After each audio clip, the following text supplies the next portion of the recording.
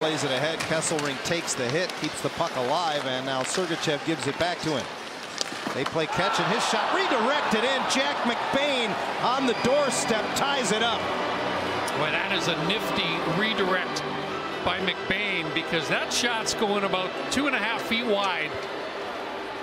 And I think it's off the shaft of his stick. It's a smart shot from the point by Sergachev focused on the left of Dostal. And watch McBain just slide out there, bangs his stick on the ice, makes contact.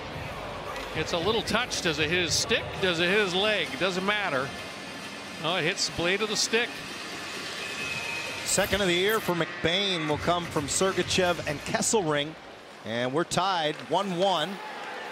Nine minutes gone. Robbie Fabbri busts into the Utah zone, initiates physical hit there on Carcone. Kept in at the line by Gudas, who can't get it through. Ian Cole, the veteran defenseman, 35 years of age, now with his ninth different NHL team making the block there. Ducks regroup in the neutral zone. Zellweger dropping it off for Gudas. 34-year-old in his first year as captain. Radko led the Ducks defense with six goals last year, but that's not what he's known for.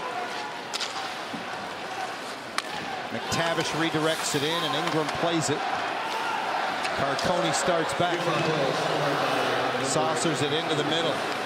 Kevin Stenlund, part of that Stanley Cup championship team in Florida last year. Works it into the zone. Carcone falls as he comes to the side of the net to get it, and up with it is Zegras. Backhands it off onto the wing, gets it back right down the slot, poked off his stick.